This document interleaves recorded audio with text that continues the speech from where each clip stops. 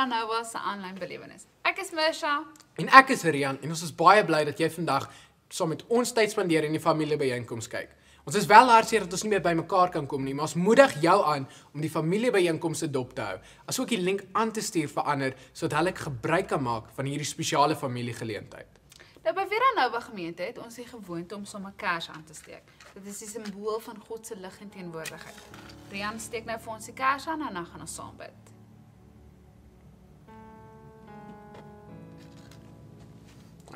Kom ons bid saam.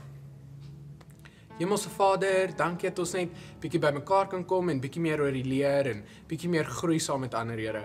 Here gaan saam met een en elkeen wat na hierdie familiebyeenkoms kyk, dat hulle u teenwoordigheid daar voel en dat hulle veilig en gesond is. Ek bid in u naam alleen. Amen. Dan gaan ons nou die Here aanbid met musiek en dan gaan ons nou oorgaan na ons liedjie toe.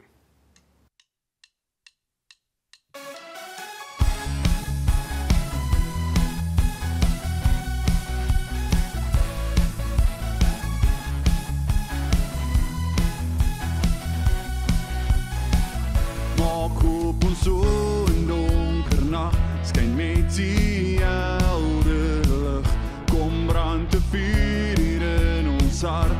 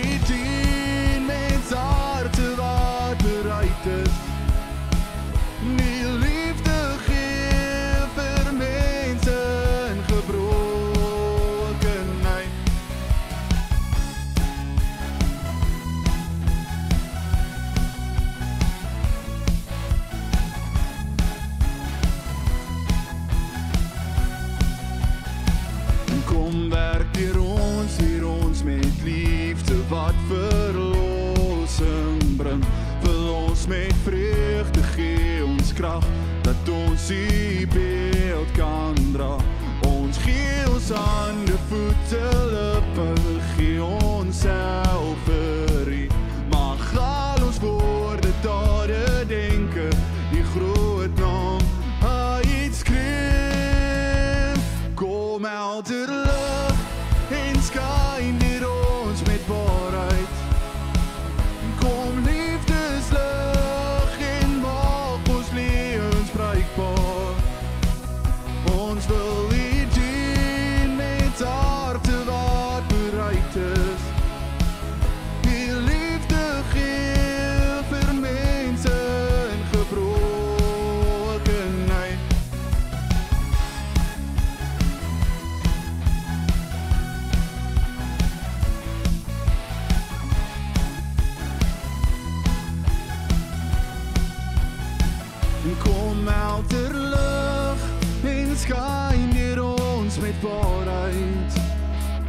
kom liefdeslig en maak ons lewens bruikbaar.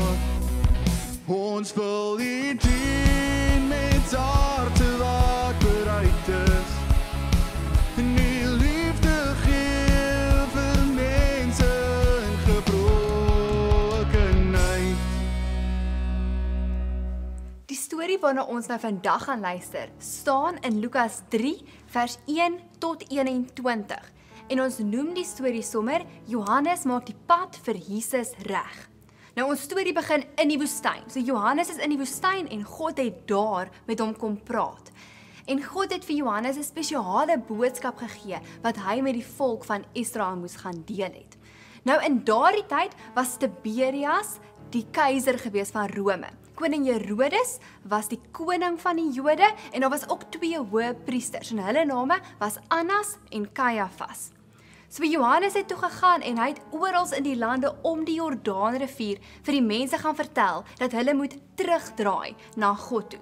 En hy het gesê, julle moet gedoop word want dit sal 'n simbool wees dat julle teruggedraai het na God toe en ook dat julle sonde vergewe is, dat julle vrygewas is. Nou die dit het al die mense laat dink aan woorde wat die profeet Jesaja baie jare voor dit gesê het. Nou hy het gesê: Ek hoor 'n stem uit die woestyn roep: Maak 'n pad vir die Here gereed. Johannes het die mense ook gewaarsku en vir hulle gesê dat hulle nie kan dink net omdat hulle Jode is, hoef hulle glad nie na Johannes se woorde te luister nie. Hy het vir hulle gesê: "Julle kan nie kom en sê wel ons is kinders van Abraham, so ons hoef onsself nie te bekeer nie, want God kon ook van al die klippe wat daar rond gelê het, ook kinders van Abraham gemaak het." Maar Johannes sê toe: "Julle moet so leef dat almal kan sien dat julle op 'n manier leef hoe God wil hê julle moet leef."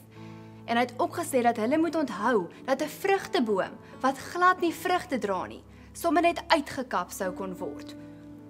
So toe al die mense daar Johannes se woorde hoor, het hulle hom gevra: "Nou wat moet ons dan doen?" En Johannes sê toe hulle: "As julle meer kos en klere het as dit wat julle nodig het om te oorleef, gee dit vir ander mense wat nie het nie." En vir die tollenaar spesifiek het hy gesê: "Julle moet eerlik wees en julle mag nie meer geld vat as wat die mense moet betaal nie." En vir die soldate het hy gesê: "Julle moenie wreed wees nie en julle moenie ander mense seermaak nie. Wees regverdig en leef op so 'n manier wat omgee vir ander mense." So al die mense het verwag dat hier dat God uiteindelik hierdie koning gaan stuur wat hy beloof het, die Christus.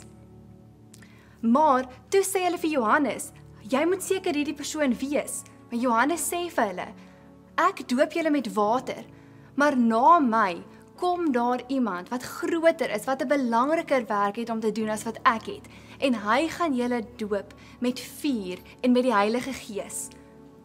So Jesus self het ook gekom om net soos al die ander mense gedoop te word. En toe Jesus gedoop is en hy opstaan uit die water, het die hemel oopgegaan en die Heilige Gees het in die vorm van 'n duif afgevlieg na Jesus toe. En 'n stem uit die hemel het gesê: "Hierdie is my geliefde seun en ek is so bly oor hom." Haai julle, Marius hier en welkom van my kant af ook. Nou ek weet nie van jou nie, maar ek het baie verwagtinge vir die jaar. Ek is vol hoop vir hierdie jaar en verwagting is glad nie 'n slegte ding nie, maar weet jy wat dink ek gebeur soms? Ek dink verwagting maak dat ons nie bewus is van die dinge wat God aan die doen is nie. Want ons sê het 'n idee van wat moet gebeur. Ons dink ons weet wat God behoort te doen en as hy dit nie so doen nie, sukkel ons. Hierdie storie wat Lukas vertel, help ons juis hiermee. Dit help ons om te sien wat Jesus nou nog aan die doen is en dan ook ons verwagtinge aan te pas daarbey. En dit is waaroor vandag se storie gaan, die vernuwingsbeweging.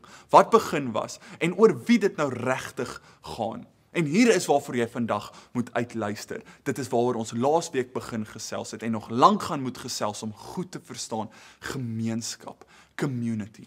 Johannes die Doper is die voorloper. Hy moet die volk voorberei vir die koms van die Here. Hy is die aankondiging van die koning wat op pad is. Ons weet die koning is Jesus, maar hoe maak hy die pad reg vir hierdie Here? Wat vir hom so belangrik is, is hierdie geloofsgemeenskap, die groep, die volk. Ons het soveel woorde, maar ons sukkel soms met baie dinge in ons geloof omdat ons nie besef dat ons is deel van 'n groep, 'n volk, 'n geloofsgemeenskap nie. En daarom sukkel ons ook om heeltemal te besef wat God aan die doen is in ons gemeenskap. Om ons te help verstaan, kom ons kyk na hierdie gedeelte uit die Bybel uit. Nou, ons weet Lukas is 'n baie betroubare geskiedkundige skrywer en hier gee hy vir ons 'n redelike spesifieke tyd waarin hierdie verhaal afspeel. In die 15de jaar van koning Tiberius, Pontius Pilatus goewerneur, twee ander leiers, baie geskiedkundige detail, maar meer as dit, gee hy ook vir ons 'n baie duidelike prentjie oor die leierskap van daardie tyd. Nou net soos vandag het mense in die tyd wat Jesus op die aarde geloop het, gelei onder swak en selfsugtige leierskap. Maar die Jode het 'n ander hoop gehad. Die Jode was bewus van leierskap van mens wat maar feilbaar was. Maar hulle het gehoop op 'n tyd wat God sal kom regmaak. 'n Tyd waar dit nog beter sal wees as toe Dawid koning was. 'n Amazing tyd in hulle geskiedenis.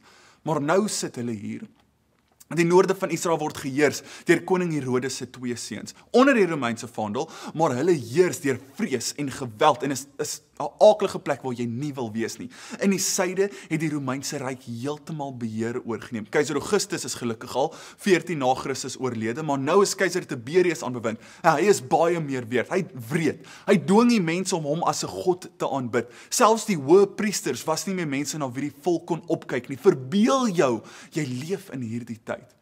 Hierdie is die tyd waarin hierdie volk geleef het en of course moes hulle teruggedink het. Hulle hulle moes hulle self herinner aan die tyd toe hulle in Egipte as slawe was. Die verhaal uit die boek Exodus, 'n groep mense wat onder slegte leierskap forceer word, slawe om te werk en dan kom daar 'n man, Moses, deur God.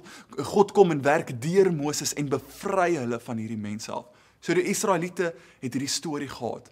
En en, en Lukas maak dit duidelik dat baie van hulle so 'n verwagting gehad het.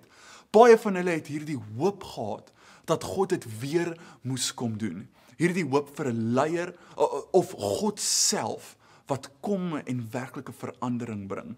Men het geweet dat hierdie leier God self sou wees. Dan hier kom Johannes die Doper. Hy kom en onthou die doop was iets wat nie baie vreemd was vir hulle in daai tyd nie. Uh, dit was deel van die proses waarin nie Jood deel wou word van die volk van die Joodse geloof. Die vreemde ding is dat hy nou Jode roep om gedoop te word.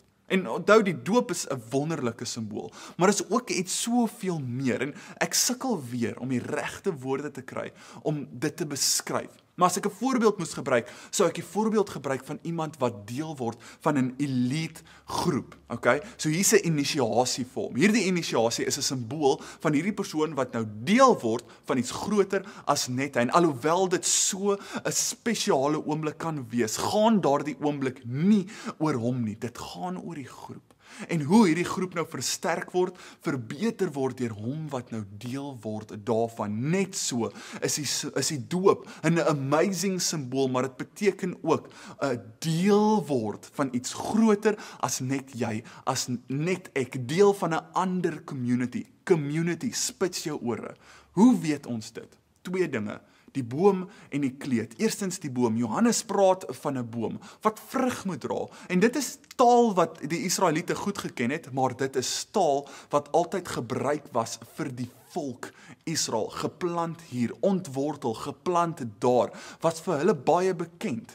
En daarom as hulle dit gehoor het, het hulle nie gedink aan hulself nie. Dit beteken dat hierdie is nie 'n persoonlike uitnodiging om beter te leef nie, maar 'n inisiasie in 'n community wat saam so leef dat hulle vrug kan dra. Hoor mooi, vrug gebeur in hierdie groep saam. Tweedens sien ons dit in die kleed, 'n gemeenskap wat so leef dat hulle omsien na mekaar, omgee vir mekaar en ongelukkig is dit iets waarmee ons sukkel. Ons het nie die regte woorde nie. Ons het nie 'n woord vir 'n groot groep mense wat so saamleef dat hulle onbaatsigtig so maklik van hulself van hulle besittings sal gee vir die mense rondom hulle nie. Maar dit is iets wat Johannes kom aankondig het. Dit is iets wat Jesus voortgesit het. Dink aan die storie van Saggeus, 'n Jood, maar ook 'n tollenaar, iemand wat belasting inneem vir die Romeinse ryk en homself ryk maak uit sy eie volk uit. Daarom was as die Jode gepraat het oor tollenaars en sondaars, dit is een sin genoem maklik. Hulle is die mense wat deur die volk uitgeskei word. Maar toe Jesus by hom gaan eet, by Saggeus, wat klaar 'n teken van deel wees van een gemeenskap uitbeeld, sê Jesus dat daar redding gekom het vir hierdie huis en dat hierdie man ook 'n kind van Abraham is. Jesus herstel vir Saggeus in hierdie gemeenskap in.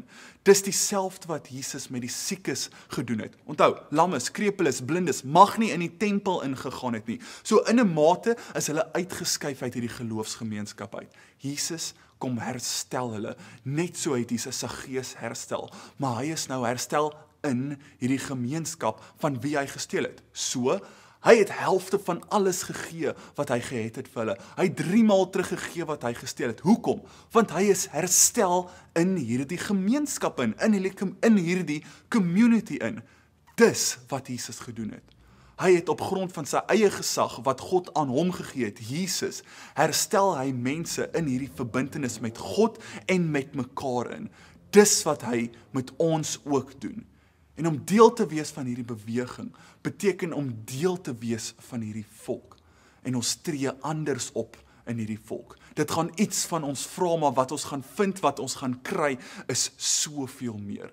Daarom hierdie roeping, hierdie uitnodiging van Johannes en daarna van Jesus, bekeer vir julle. Ons gaan nie in hierdie manier van lewe in indryf nie. Dit gaan nie per ongeluk gebeur nie. Dit gebeur nie.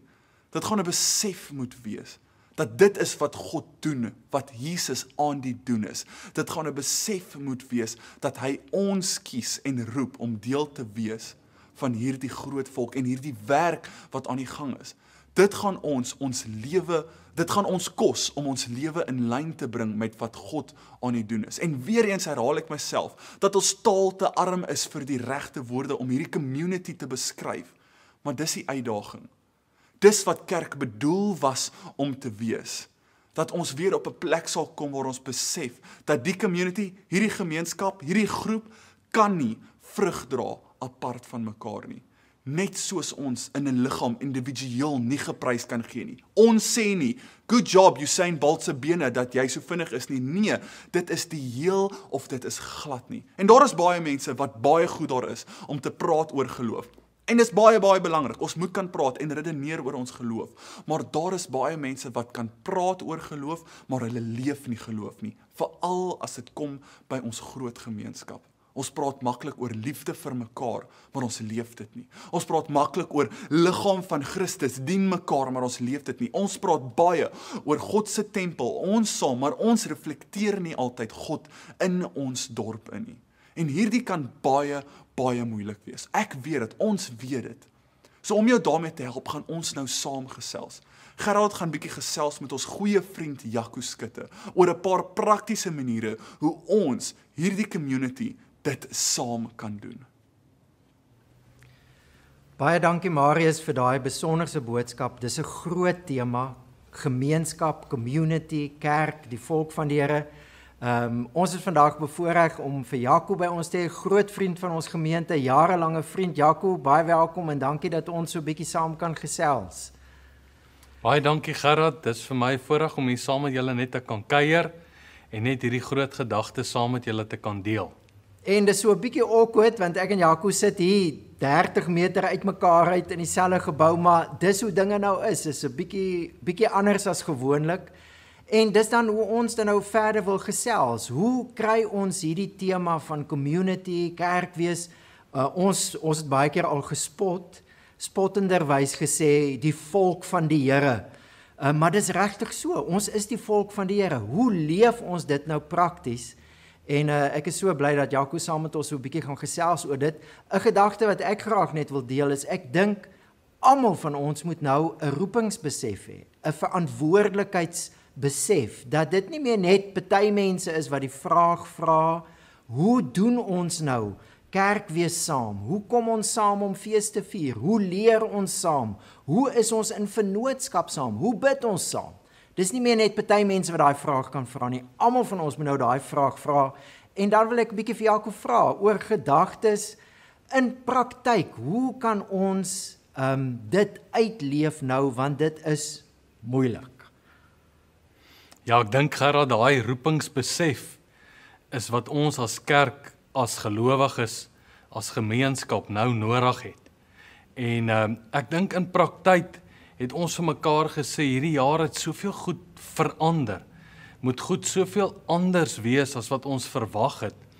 Dat ons gesê het, hoe doen ons dit? Een van die goed wat ons as gemeente gesê het is ons wil graag om dit prakties uit te leef, geloof, hoop en liefde na ons mense vat. En ek dink in praktyk begin dit obviously eerstens by jou en jou huisgesin om daar fees te vier, om daar uh vir mekaar om te gee, om daar vir mekaar hoop te gee. Maar dan net na jou onmiddellike gelowiges, die mense wat jy ken binne in jou gemeente. Die vraag is hoe reik ons uit na mekaar toe? Ons kan mekaar bel ons kan vir mekaar omgee. Ons kan WhatsApps na mekaar toe stuur en regtig uitreik na mekaar in liefde. Ons as gemeente het byvoorbeeld ons het 'n uh, uh, span op die been gebring wat ons noem callers wat hulle net elke week 10 name in die gemeente vat en sommer na mekaar toe bel Maar daai het 'n klomp goed gevloei. Toe begin mense agterkom dat wanneer mense COVID het, dan moet hulle ook vir mekaar begin omgee en kyk hulle vir 10 dae na gesin en gee vir hulle kos en ry vir hulle rond en kry vir hulle die pilletjies by die apteek en daar's soveel goed wat ons as gemeente vir mekaar kan doen en ook as gemeenskap om as gemeentes saam te werk. Ek weet ons en drie ander gemeentes het in hierdie tyd so saamgewerk om net na ons eie mense, mense wat by ons aanbid, net vir hulle ook om te gee en kos te gee aan mense wat deur moeilike tye gaan. So dis so belangrik dat ons as die volk van die Here regtig nou na mekaar toe sal uitreik en op hierdie ander manier vir na mekaar toe sal leef en net anders sal wees sodat ons regtig hoop vir mense kan bring. Dis maar net van die gedagtes. En as jy as jy 'n bietjie dink aan aan die pad vorentoe want dinge gaan nie dadelik weer teruggaan na hoe dit was nie. As jy dink aan uh tipe geleenthede wat mense kan skep om nog steeds die gevoel te hê ons is kerk en ons is saam. Uh ek het nou baie gehoor van wat jy sê van omgee, uitreik. Is daar ander gedagtes wat jy het, dinge wat jy miskien probeer het? Ja, ek dink in Levitikus 26 vanaf vers 9 tot vers 12 in die message vertaling sê hy iets soos dit. Hy sê wat die Here vir hulle sê, "I'll set up my residence in your neighborhoods." En jy weet, ek het al baie gedink dat in ons kleiner gemeenskappe, in ons neighborhoods, kan ons as gelowiges begin saamkom en hierdie feesgeleenthede meer net saam vier. Ja. Sal dit nie mooi wees as 3 of 4 gesinne wat naby mekaar bly as hulle miskien een keer 'n maand by mekaar kom en dalk net feesgeleenthede saam het, dalk 'n gebed saam doen, dalk 'n kers saam, dalk 'n braaivleis saam hê, dalk net saam mens wees en dalk eers saam kan bid en die Here kan vertrou en ons as gelowiges in daardie verskillende neighborhoods regtig vir mekaar kan begin omgee en mekaar kan begin help.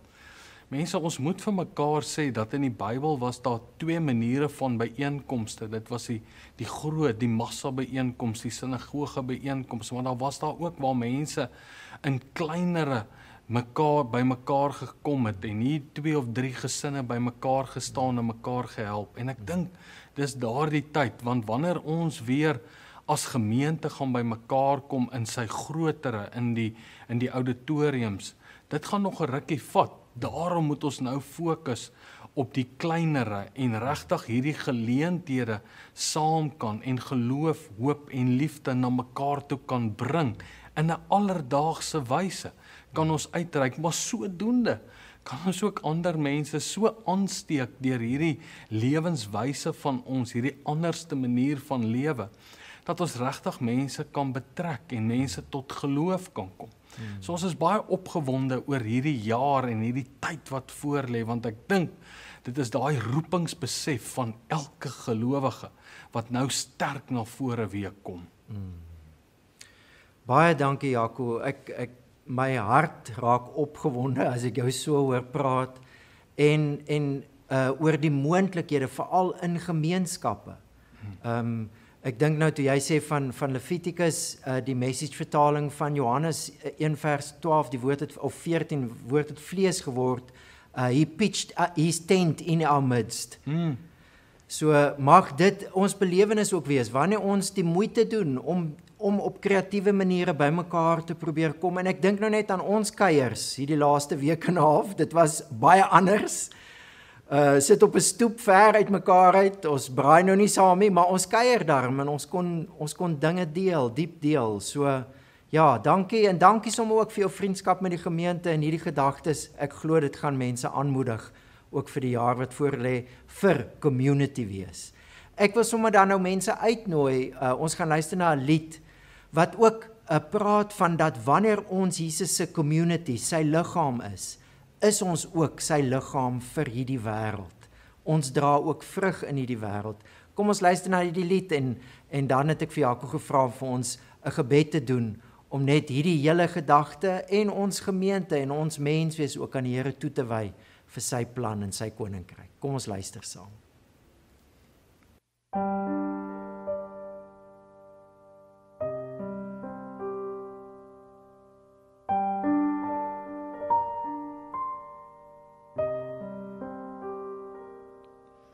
right as no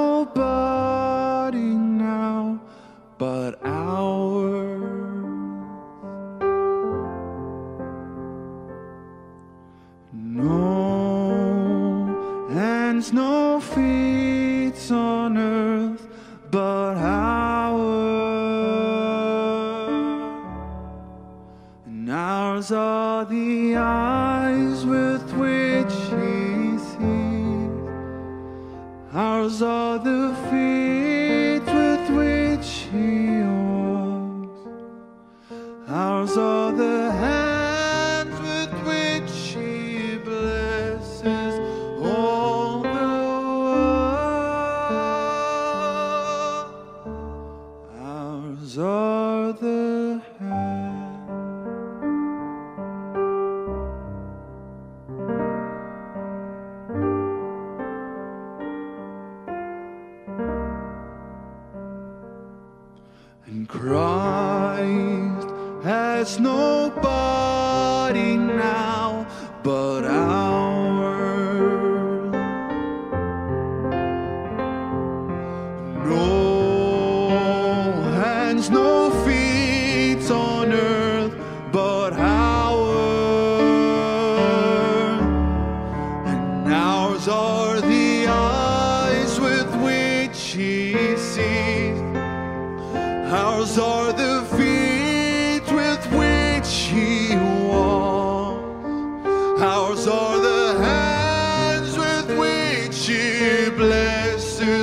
Oh.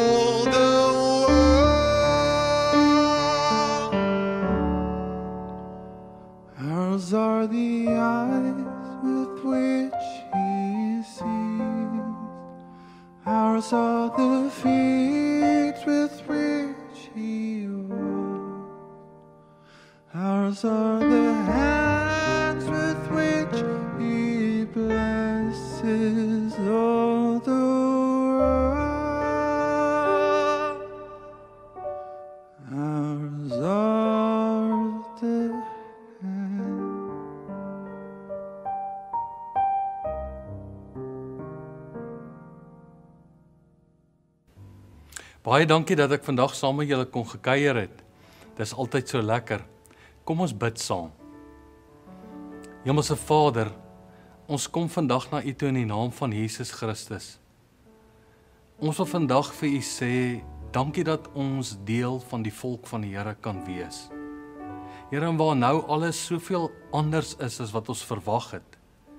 Help ons om hierdie roepingsbesef sodat ons hoop na hierdie wêreld kan bring.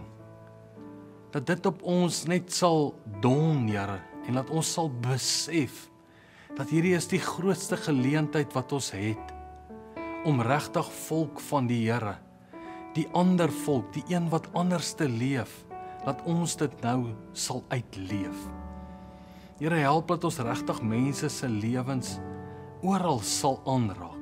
Dat ons sal omgee vir mekaar. En dat ons net altyd sal weet U is met ons en U is by ons. En ons bring die lig in die donker wêreld in. Ons eer U daarvoor. Seën elkeen is my gebed in Jesus naam. Amen.